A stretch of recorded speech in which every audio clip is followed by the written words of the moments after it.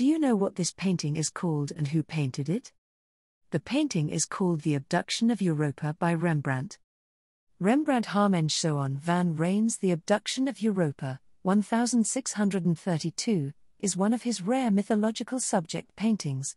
The work is oil on a single oak panel and now located in the J. Paul Getty Museum.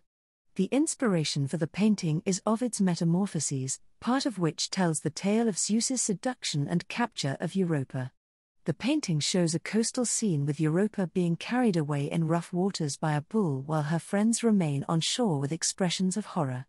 Rembrandt combined his knowledge of classical literature with the interests of the patron in order to create this allegorical work the use of an ancient myth to impart a contemporary thought, and his portrayal of the scene using the high Baroque style are two strong aspects of the work.